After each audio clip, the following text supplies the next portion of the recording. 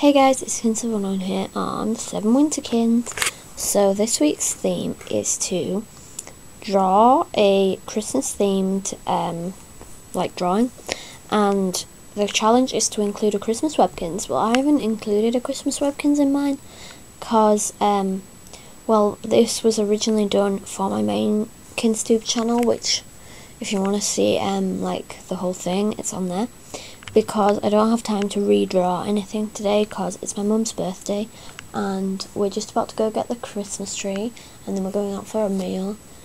And yeah I don't want to spend oopsie so much time editing and filming today. So this is my drawing. Um basically I covered it in wrapping paper. It's just like a piece of card.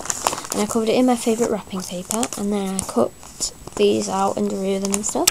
So here I have a Golden Retriever, uh, Kinsley 101, Merry Christmas, Webkinz, and a Jelly Bean Puppy, which I really do like that drawing of the Jelly Bean Puppy, even though it's tiny. So that is my Christmas collage. I think it's really cute and awesome. I love I love this wrapping paper because like I wrap most of my friends' Christmas presents in that paper. But then I ran out of the roll because I used a lot on well, I used quite a bit on this and then I had loads of presents to wrap. So then I ran out of paper I had to use another piece. So yeah, this is my collage. By the way, it's the end of week two and we our we don't have a Tuesday right now because when um, we first started our Tuesday couldn't be a Tuesday I guess.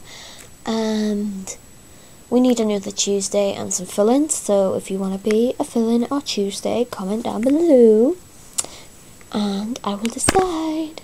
Okay, well, thanks for watching, guys. And please comment, rate, and sub to 7 WiinterKinz. Bye!